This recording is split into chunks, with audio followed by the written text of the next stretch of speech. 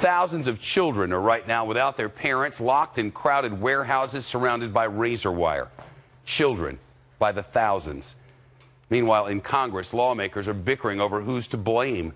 A House committee today grilled the Homeland Security Secretary on the unfolding humanitarian crisis along our own southern border.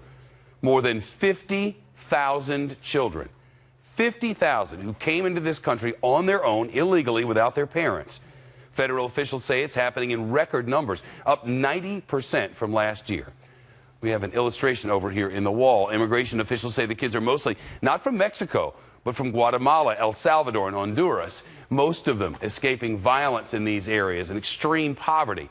Their parents pay smugglers thousands of dollars to sneak them into the United States, and it is a long and dangerous journey that many of these children do not survive. Those who make it to safety often don't get far. When border agents find the children, they take them to government buildings such as border control centers, even an Air Force base. Excuse me, according to the Los Angeles Times newspaper reporting, many sleep on plastic mats on dirty floors with nothing but flimsy foil blankets. At the hearing today, Republicans argued that, of course, President Obama's policies are causing the surge.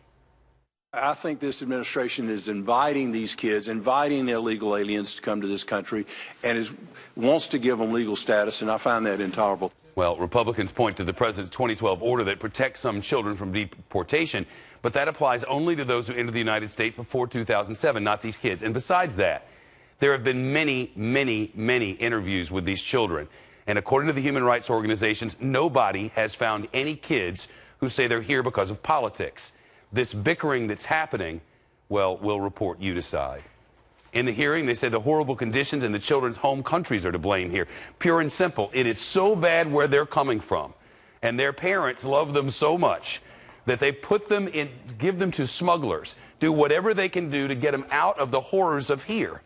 Imagine this trip all the way up to our southern border and into these camps and sleeping with foil over themselves with no parents around at all seen better than what they had here at home. Not politics, poverty, horrible situations, and violence we really can't even imagine. They say they need to deal with these problems in Central America first. Perhaps we could completely fence uh, the border and build a giant moat with alligators to, to keep uh, kids and people away. Maybe we could put these kids on a bus and just drop them off at the border with Guatemala. Uh, I don't think any of those are consistent, one, with the law, two, with our values, three, with my conscience or the conscience of many of the people uh, in this country. I think we have to address the issues in those countries of origin. Yeah, a wet or dry rule for Cuba, and yet these thousands of kids coming from extreme poverty and, and, and crisis, and we lock them up in detention camps and blame each other as politicians. It's pretty disgusting, isn't it? Meantime, the children just keep coming. The Obama administration estimates it will detain 90,000 of these children by September. So what in the world is a caring nation to do? Lea Gabrielle on Fox Top Story and live in our newsroom. Leah, just unbelievable. You know, Shep, it really is. And you drilled it home that administration officials are saying that they're coming here primarily because of the horrible conditions in the countries that they're coming from. Now, as you mentioned, about 52,000 unaccompanied children have shown up at our southwestern border this year. And you can see from this chart that the increase started in 2012 and it's grown exponentially.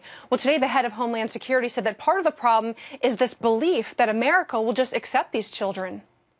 There is this disinformation out there that there is a permisos. That's what we're hearing. Permisos, free pass. Like you get a piece of paper that says, you know, welcome to the United States, you're free. That's not the case. Well, Secretary Johnson tried to address the issue at the source with a letter that ran in Spanish language outlets over the weekend, saying in part, quote, the desire to see a child have a better life in the United States is understandable, but the risks of illegal migration by an unaccompanied child to achieve that dream are far too great, and the permisos do not exist. Well, the government can't just send kids back home to their home countries, and that's because the law actually requires that they go to Health and Human Services. And Shep, you mentioned the administration administ- estimates that it'll catch 90,000 children trying to come into our country illegally by the end of the uh, budget year. Well, last year, fewer than 2,000 will return home. Mm. Lea Gabrielle in our newsroom. Leah, thanks very much. A government-contracted security force threatened to arrest doctors and nurses if they divulged any information about the contagion threat at a refugee camp housing illegal alien children at Lackland Air Force Base in San Antonio, Texas, sources say. In spite of the threat, Several former camp workers broke their confidentiality agreements and shared exclusive details with me about the dangerous conditions at the camp. They said taxpayers deserve to know about the contagious diseases and the risks the children pose to Americans. I have agreed to not to disclose their identities because they fear retaliation and prosecution. There were several of us who wanted to talk about the camps, but the agents made it clear we would be arrested, a psychiatric counselor told me. We were under orders not to say anything. The sources said workers were guarded by a security force from the Baptist Family and Children's Services, which the Department of Health and Human Services hired to run the Lackland camp. The sources say security forces called themselves the Brown Shirts.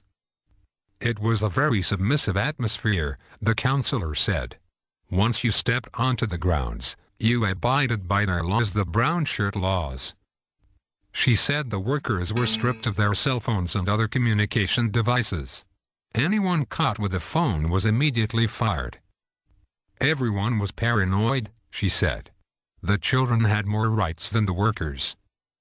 She said children in the camp had measles, scabies, chicken pox and strep throat as well as mental and emotional issues. It was not a good atmosphere in terms of health, she said. I would be talking to children and lice would just be climbing down their hair.